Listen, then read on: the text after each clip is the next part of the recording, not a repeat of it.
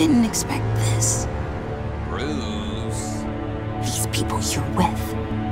I saw on the cameras what they did to that guard. To Regina. They'll do the same to you, or worse. Get out of sight. Bruce, what's taking so long in here, huh?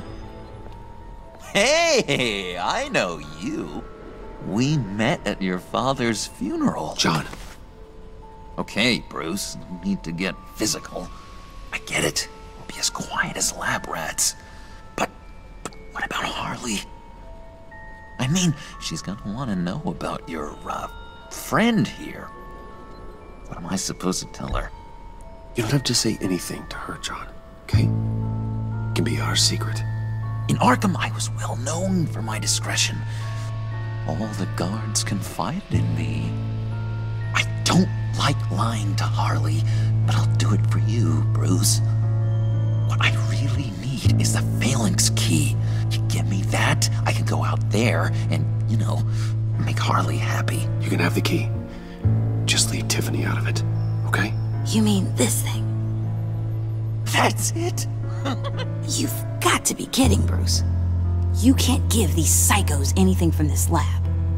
Hey now, no need to get personal. We're all on the same side, remember?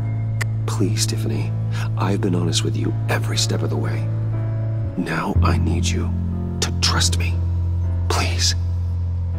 I better not see this on the evening news. Thank you. This this makes things so much better for everyone. Thank you, Tiffany. You made the right call. Harley will be over the moon when I show her this. Stay out of sight until we are long gone. Whatever. Bruce. You better know what you're doing. Took you long enough?